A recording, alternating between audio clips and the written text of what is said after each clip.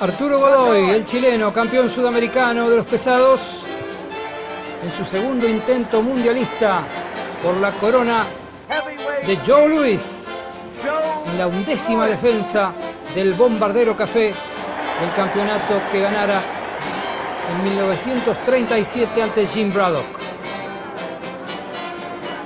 Habían peleado en febrero de ese mismo 1940 y la decisión había sido muy impopular en favor de Luis.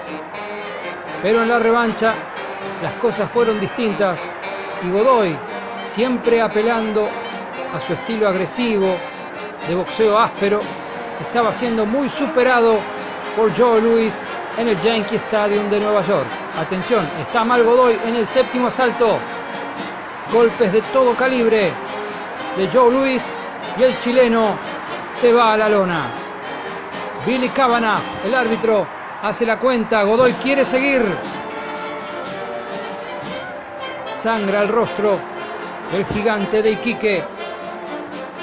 Y la campana lo sorprende cuando le estaban dando el pase. Octavo round. No hay recuperación en Godoy, pero valiente como era el chileno, se la jugaba e iba a buscar su chance. Joe Louis estaba intratable esa noche. Sigue pegando. Godoy ya no tiene recursos como evitar el castigo de Louis. Atención. Aquí estamos viendo por qué Joe Louis Barrow es considerado como uno de los más grandes pesos pesados de la historia.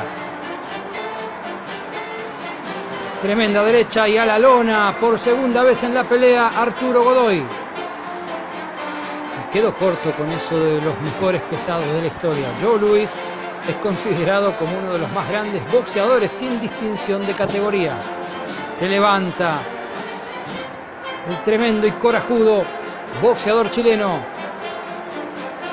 Su cara era una máscara sanguinolenta, sin embargo, ahí estaba buscando. Pero Luis vuelve a acertar un derechazo y a la lona Godoy y el árbitro para la pelea. Y fíjense aquí, la desesperación del sudamericano porque le detuvieron el combate. Va a buscar a Joe Louis para seguir boxeando.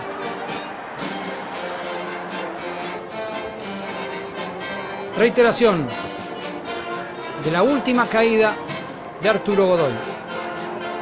La izquierda de Luis y sigan ese perfecto derechazo. Hasta el próximo knockout. Hasta el próximo recuerdo.